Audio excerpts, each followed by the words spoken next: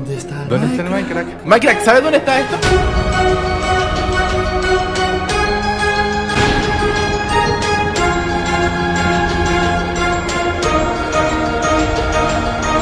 La travesura continúa a través de este podcast, donde intentaremos resolver todas sus dudas junto a Mike y Omso, donde hablarán de la tercera temporada de las perrerías de Mike.